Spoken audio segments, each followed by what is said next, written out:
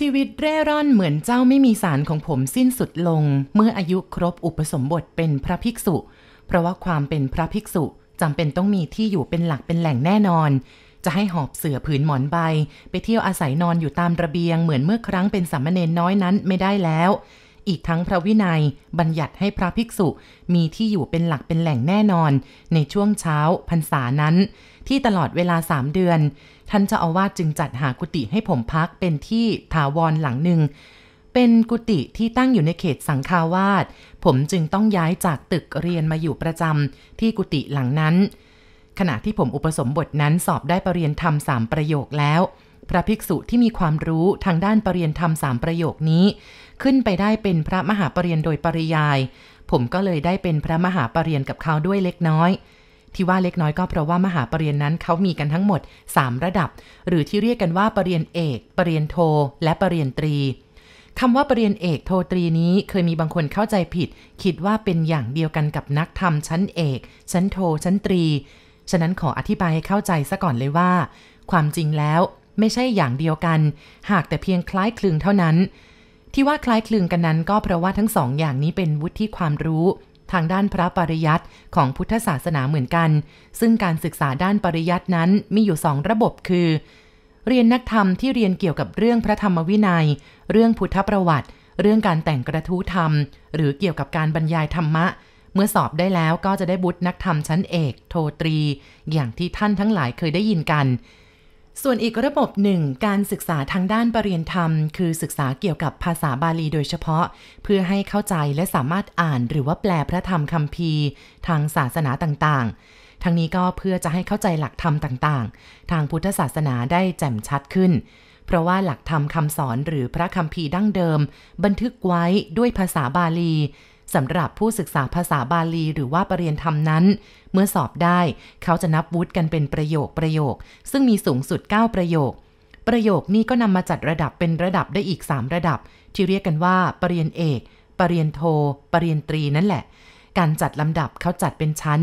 คือปรริญญาหนึ่งสองสามเขาจัดเป็นปรริญญาชั้นตรี ซึ่งถือเป็นระดับแรก ปรริญญาสี่ห้าหกจัดเป็นปรริญญาโท ปรริญญาเจ็ดแปดเก้าจัดเป็นปรริญญาระดับสูงสุด เอาละครับ สอดแทรกเกล็ดความรู้กันพอหอมปากหอมคอ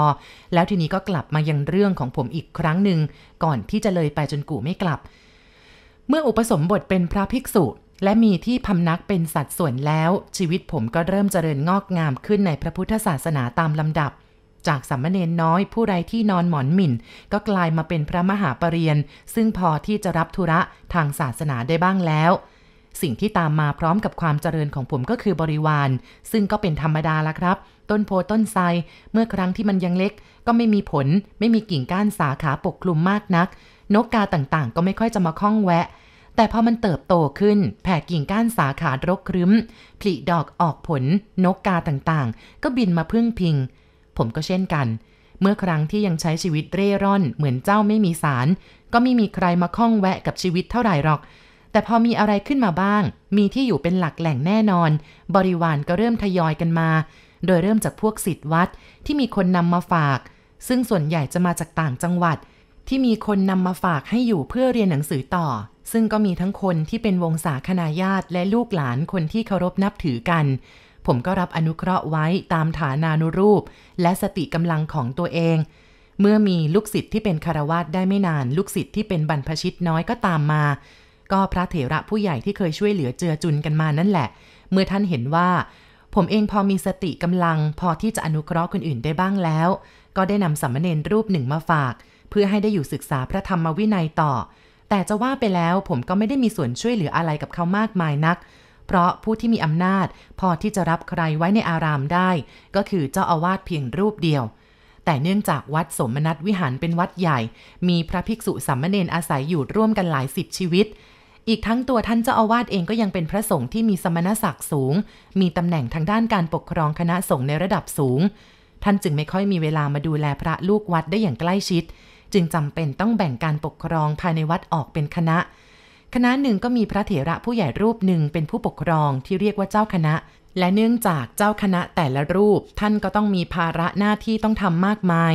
ท่านจึงต้องแบ่งภาระในคณะให้กับพระรูปอื่นๆ เพื่อช่วยแบ่งเบาไปบ้างอีกทอดหนึ่ง ใครอาวุโสกว่าก็ช่วยดูแลพระรุ่นน้องๆต่อไป ด้วยเหตุนี้ผมเองก็เลยตกอยู่ในฐานะพระพี่เลี้ยงของสามเณรใหม่ ผู้ที่พระเถระซึ่งนับถือกันนำมาฝาก และด้วยฐานะพระพี่เลี้ยงนี่เอง ผมจึงต้องมีหน้าที่จัดหาที่อยู่อาศัยให้กับสามเณรนอกจากนั้นก็ยังต้องจัดหาข้าวของเครื่องใช้ที่จำเป็นให้ด้วย และจำได้ว่าตอนที่สามเณรรูปนั้น เดินทางมาถึงวัดสมนัตวิหาร นับว่าโชคดีมาก ที่หน้ากุฏิของผมมีห้องว่างอยู่ห้องหนึ่งสามเณรจึงได้มีที่อยู่อาศัยเป็นสัดส่วนทันที ไม่เหมือนกับเมื่อครั้งผมมาอยู่ที่วัดสมนัตวิหารใหม่ๆ ซึ่งต้องตกอยู่ในสภาพเจ้าไม่มีสารอยู่หลายปีทีเดียว กว่าจะได้มีที่อยู่เป็นหลักเป็นแหล่งเมื่อมีที่ให้สามเณรแล้ว ผมเองก็ต้องจัดหาข้าวของเครื่องใช้ที่จำเป็นให้ด้วย เพราะว่าจะต้องจัดหาข้าวของเครื่องใช้จำเป็นให้สามเณรรูปนั้นนั่นเอง ก็เลยทำให้มีโอกาสได้บันทึกเรื่องราวอันน่าพิศวงไว้ได้อีกเรื่องหนึ่ง เรื่องมีอยู่ว่าตอนนั้น ผมได้จัดหาข้าวของเครื่องใช้จำเป็น ให้สามเณรเกือบครบแล้ว ยังขาดอยู่เพียงแค่เตียงนอนเท่านั้นปกติแล้วในวัดนั้นมีเตียงไม้เนื้อดี และเป็นเตียงเก่าแก่ ที่อยู่คู่กับวัดมาช้านานหลายเตียง ปกติจะอยู่ตามกุฏิต่างๆ อย่างน้อยกุฏิละหนึ่งเตียง แต่เนื่องจากว่าในวัดก็มีพระภิกษุสามเณรและเด็กวัดอาศัยอยู่จำนวนมากกว่าเตียง เตียงจึงไม่พอใช้ เด็กวัดส่วนใหญ่ก็หาซื้อเตียงหยาบๆจากตลาด หรือไม่ก็ประกอบกันขึ้นมาเอง ผมคิดว่าไม่จำเป็นถึงกับต้องซื้อหา และกะว่าจะประกอบขึ้นมาเอง เพราะเห็นว่าภายในวัด โดยเฉพาะภายในห้องเก็บของ มีไม้เนื้อดีวางทิ้งไว้มากมาย จึงชวนลูกศิษย์ไปเลือกไม้ ขณะที่เลือกไม้อยู่ในห้องเก็บของ ผมก็เห็นมีเตียงไม้สักเนื้อดีเตียงหนึ่ง วางสุมรวมกับกองไม้พวกนั้น ผมจึงสั่งให้พวกลูกศิษย์นำออกมาปัดฝุ่นดู ก็เห็นว่ายังมีสภาพดีอยู่ยังใช้การได้ และถือได้ว่าเป็นเตียงนอนที่สวยและแข็งแรงทีเดียว เลยออกปากขอกับพันธาคาริก คือพระผู้ที่ได้รับมอบหมายให้มีหน้าที่รักษาสมบัติสงฆ์ท่านพันธาคาริกก็ยกให้โดยไม่ขัดข้อง ผมให้ลูกศิษย์ทำความสะอาดเตียงแล้วก็ยกไปวางไว้ในห้อง ให้สามเณรไว้ใช้สามเณรจึงได้มีเตียงไม้สักเนื้อดีเตียงนั้นไว้ใช้ เพียงระยะเวลาสองสามคืนสามเณรก็มาบ่นให้ผมฟังว่า หลวงพี่ ผมขอนอนที่พื้นดีกว่าอ้าวทำไมล่ะ มีเตียงนอนใช้สบายๆไม่ดีหรือสามเณรทำท่าอิดออดไม่ยอมบอกสาเหตุ บอกแต่เพียงว่า หลวงพี่เอาเตียงนั้นออกไปเถอะ ผมอยากนอนพื้นมากกว่า ผมไม่นิยมเผด็จการอยู่แล้ว เมื่อสามเณรต้องการแบบนั้น ก็เลยต้องตามใจ สั่งให้เด็กวัดสองคนเข้าไปช่วยกันยกเตียงนั้นออกมา ตั้งใจว่าจะเอาไปคืนพันธาคาริก เพื่อที่จะเอาไปเก็บไว้ยังที่เก็บของสงตามเดิม แต่ยังไม่ทันได้เอาไป ขณะที่เอามาวางไว้หน้ากุฏิก็พอดีมีเด็กวัดคนหนึ่งมาเห็นเข้า ก็เลยถามว่าหลวงพี่จะเอาเตียงไปไหนล่ะ จะเอาไปเก็บไว้ที่เดิมนะสิ เอาไปทำไมล่ะครับ เตียงดีออก ดูสิทำด้วยไม้สักอย่างดี ขาก็แข็งแรงกว้างด้วย นอนสองคนได้สบายเลย หลวงพี่ก็ว่าอย่างนั้นแหละ แต่เนนไม่ชอบ บอกว่าไม่ต้องการ ก็เลยต้องเอาไปเก็บไว้ตามเดิม น่าเสียดายนะหลวงพี่ หลวงพี่เอางี้ดีไหม พอดีที่ห้องผมอยู่กันสองคน มีเตียงเล็กนิดเดียวเอง นอนกันไม่ค่อยพอ ซื้อเพิ่มก็ไม่ค่อยมีเงิน เอาอย่างนี้ไหมครับ ผมขอแลกเตียงนั้นกับเตียงนี้สามเณรอยู่รูปเดียวคงนอนได้สบายละ เด็กวัดเสนอข้อแรกเปลี่ยน ผมเห็นว่าข้อเสนอที่น่าสนใจแต่เนื่องจากว่า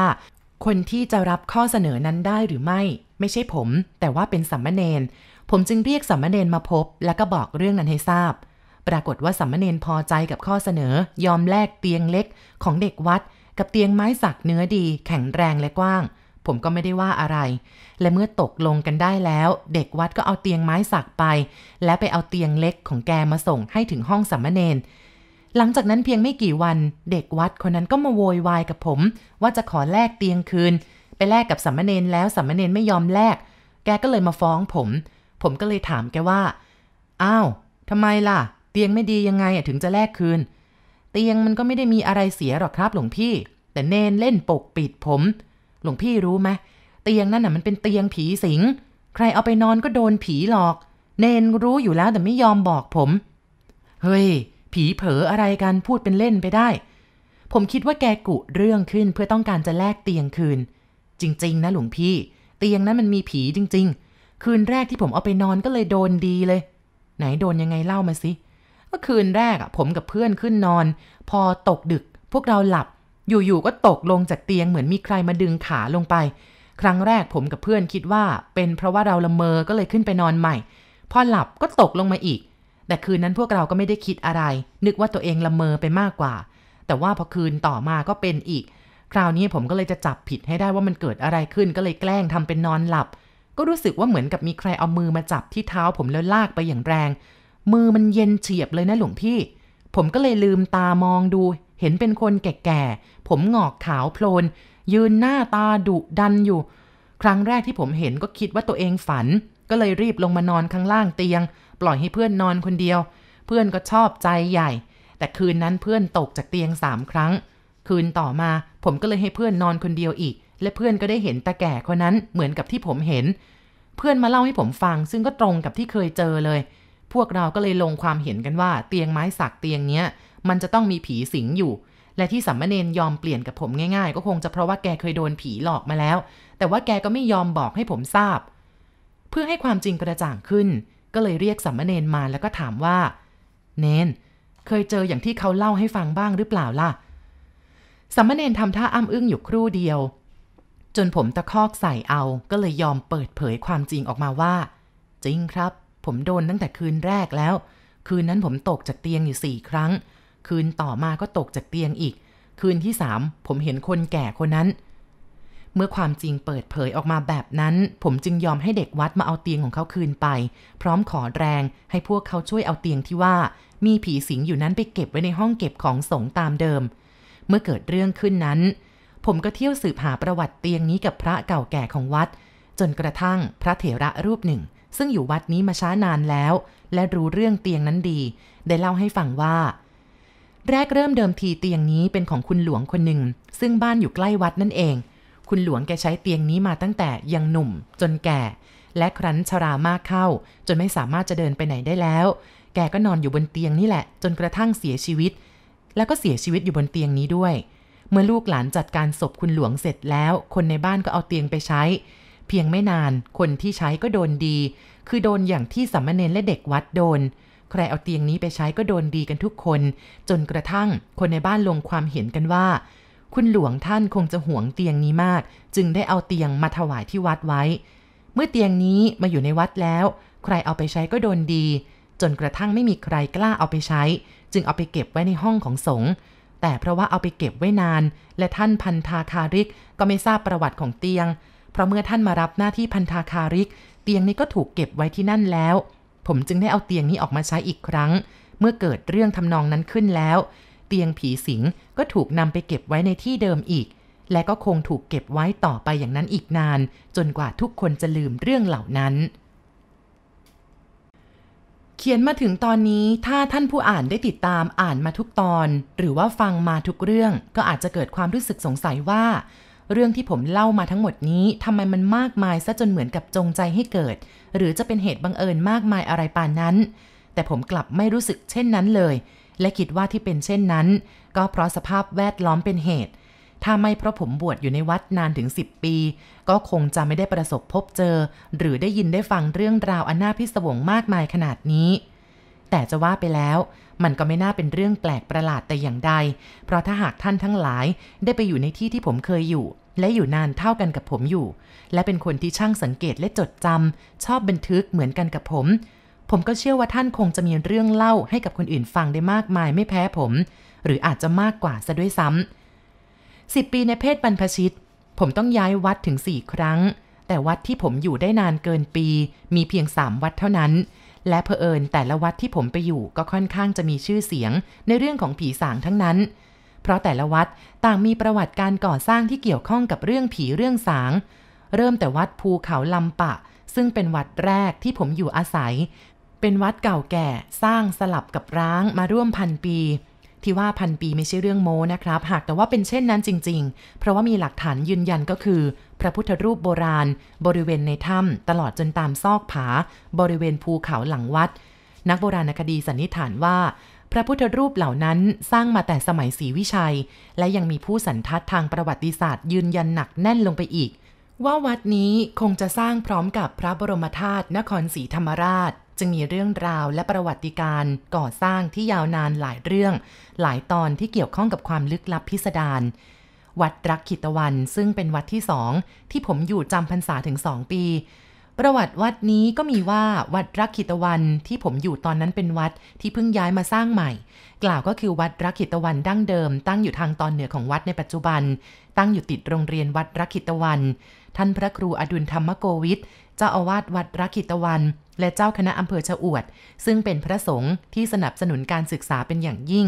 ท่านเห็นว่าถ้าหากวัดยังตั้งอยู่ที่นั่น โรงเรียนจะขยับขยายที่ทางได้ยาก ท่านจึงยกที่ดินบริเวณวัดเก่าให้กับโรงเรียนไป แล้วย้ายวัดมาสร้างใหม่ทางทิศใต้ ซึ่งแต่เดิมเป็นป่าช้า และแน่นอนว่าในตอนนั้นมีทั้งที่เผาศพและที่ฝังศพอยู่มากมาย ฝังกันมาช้านานแล้วจนจำกันไม่ได้แล้วว่า ศพใครฝังไว้ตรงไหนบ้าง และอาจจะเป็นเพราะเหตุนี้บางทีทางวัดขุดดินทำอะไร บางครั้งก็ขุดไปเจอหัวกะโหลก เจอโครงกระดูก ซึ่งแน่นอนว่าไม่อาจจะทราบได้ว่าเป็นของใคร ญาติของคนไหน ทางวัดจึงต้องเอาขึ้นมาเก็บไว้ เมื่อศพโอกาสก็รวบรวมทำบุญให้ไปทีหนึ่งที่เรียกกันว่าทำบุญให้ศพไม่มีญาตินั่นเอง ทีนี้มาลองดูประวัติการพัวพันกับผีสางในวัดที่สามที่ผมอยู่บ้าง วัดที่ว่านี้ก็คือวัดสมนัตวิหาร ซึ่งเป็นพระอารามหลวงเก่าแก่แห่งหนึ่ง สร้างมาตั้งแต่สมัยรัชกาลพระบาทสมเด็จพระจอมเกล้าเจ้าอยู่หัวรัชกาลที่ 4 ส่งสร้างขึ้นเพื่ออุทิศพระราชกุศล ให้กับพระมเหสีพระองค์แรก คือสมเด็จพระนางเจ้าสมนัตวัฒนาวดี สิ้นพระชนเนื่องจากประสูติพระราชโอรส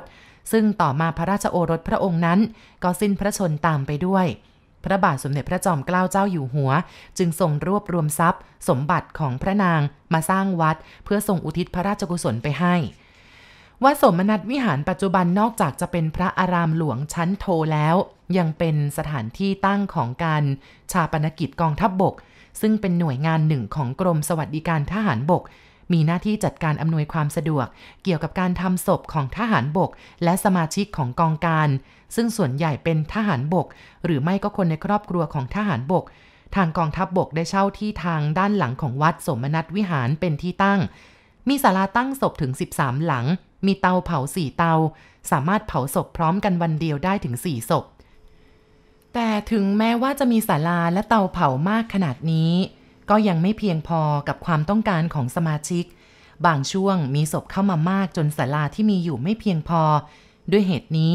ทางกองการจึงได้สร้างที่สำหรับบรรจุศพไว้อีกส่วนหนึ่ง ซึ่งสามารถเก็บศพได้เป็นร้อยร้อยศพซึ่งสร้างด้วยซีเมนต์ทำเป็นช่องช่องติดกันไป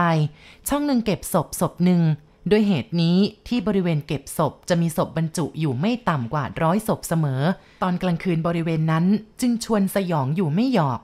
ผู้อาวุโสของวัดสมนัตซึ่งถือได้ว่าเป็นผู้รู้ท่านหนึ่งได้เล่าให้ผมฟังว่า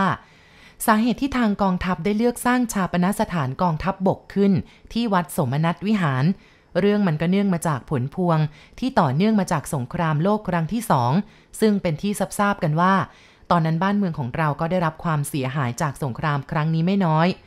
ผลพวงของสงครามทำให้ประเทศเราต้องสูญเสียทรัพย์สิน และชีวิตผู้คนไปมากมาย โดยเฉพาะเหล่าทหารที่ทำหน้าที่ปกป้องอธิปไตยของประเทศ ของตัวเองจนสิ้นชีวิตศพทหารหันเหล่านั้นจึงถูกนำไปเก็บไว้ตามที่ต่างๆ หลายที่ วัดสมนัตวิหารก็เป็นที่หนึ่ง และดูเหมือนจะมีศพทหารหันมาเก็บไว้มากที่สุด เพราะว่า ตอนนั้นบ้านเมืองอยู่ในสภาวะคับขัน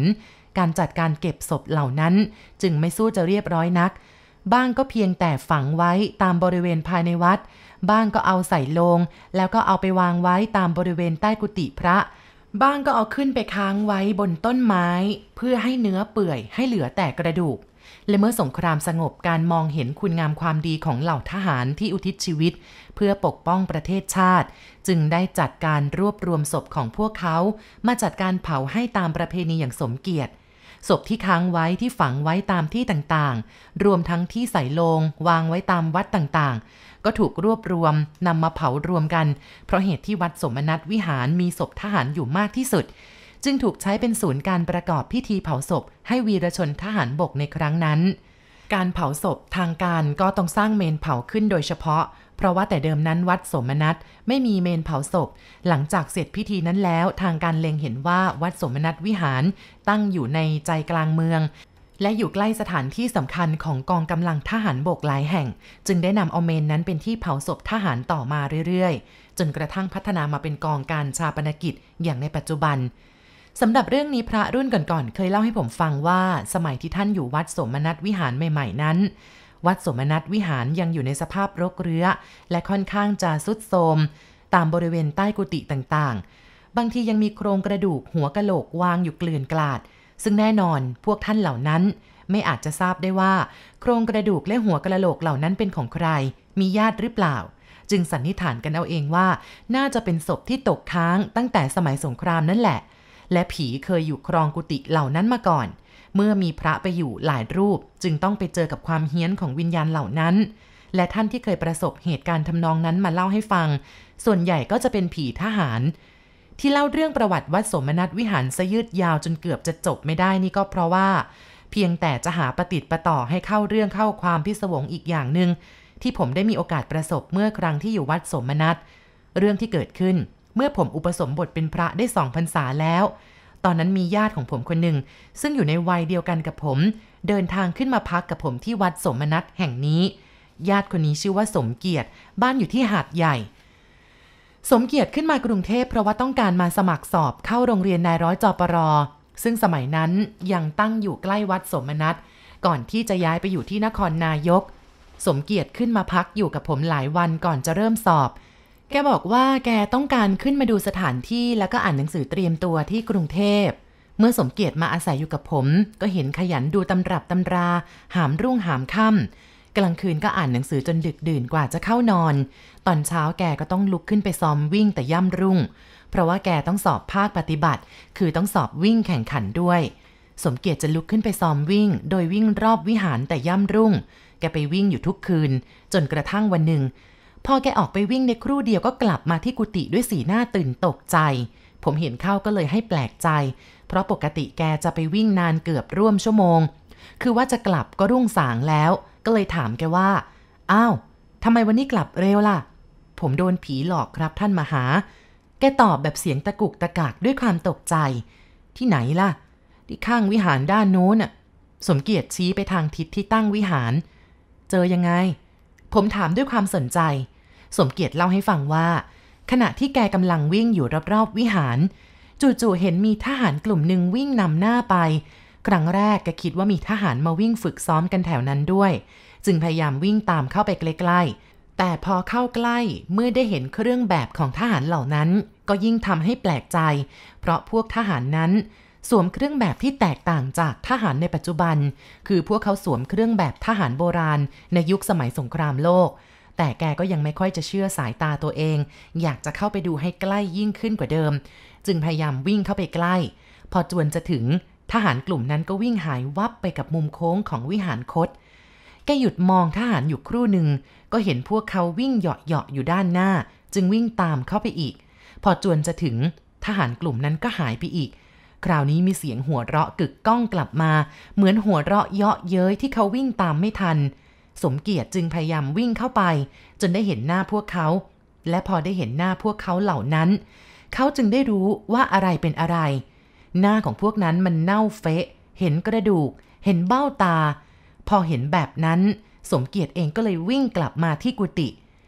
ดูท่าทางสมเกียรติตกใจหนัก พอรุ่งเช้าผมจึงพาเขาไปหาพระเถระรูปหนึ่งเพื่อขอให้ท่านรดน้ำมนต์ให้ เมื่อสมเกียรติเล่าเรื่องที่ได้เจอมาให้ท่านฟัง ท่านเองก็หัวเราะแล้วก็บอกว่า เคยมีคนเจอแบบนี้มาหลายคนแล้ว แล้วท่านก็เล่าให้ฟังว่า มีอยู่ครั้งหนึ่งนะ มีพระรูปหนึ่งซึ่งมีตำแหน่งเป็นเจ้าคณะอำเภอ ขึ้นมาประชุมคณะสงฆ์ที่กรุงเทพ และได้มาพักอยู่กับท่าน พระรูปนั้น